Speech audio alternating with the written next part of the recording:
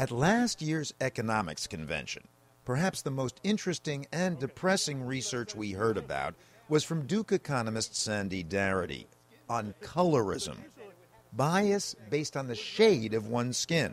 Darker skinned black men are confronted with higher levels of discrimination and lower wages in America's labor markets than lighter skinned black men. And that, in fact, and this is maybe the most provocative result, is that there's really not a statistically significant difference between labor market outcomes for lighter skinned black males and white males. At this year's convention, however, Darity was promoting policy, a government jobs program. It strikes me that what we should do is establish a federal job guarantee and provide an assurance to every American citizen that they have employment that will be through the public sector.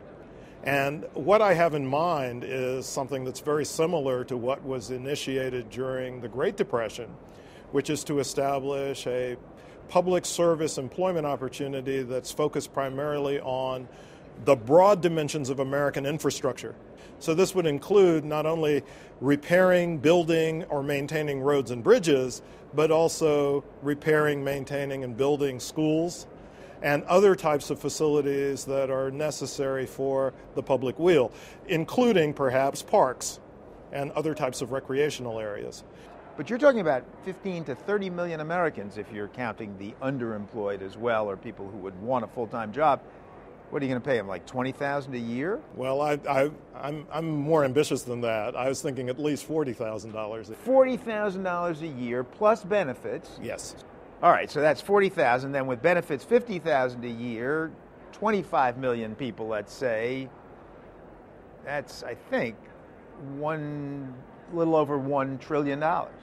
Initially, it would be very expensive to do this, but again, it would not be any more expensive than the type of financial commitment that has already been made to, ironically, that same investment banking community that produced the crisis. But how in the world can we possibly afford this? Well, somehow we came up with $1.3 trillion overnight to give to the investment banking community.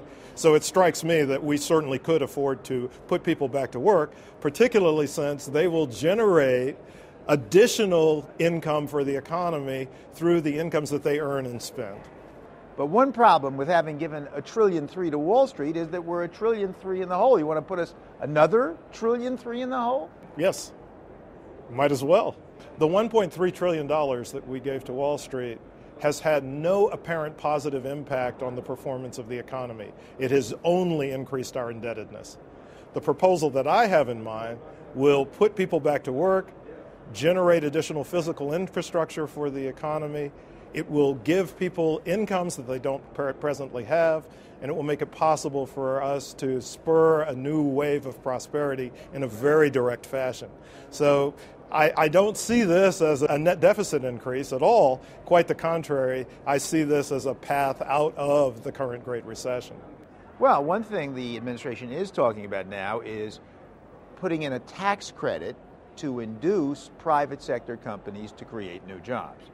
Yes, but I, I want a job guarantee for every citizen because we're still left with the uncertainty of what kind of decisions uh, private companies are going to choose to make. And I want this to be permanent. So, for example, uh, individuals who finish their high school degree would know that they were assured of finding employment in the public sector if they completed uh, if they completed their high school education.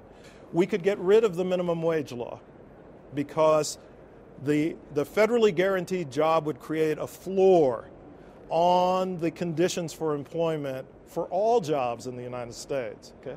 We would not have to have any kind of national health insurance program because, as part of the benefits package for a federally guaranteed job, we can include the federal health insurance program.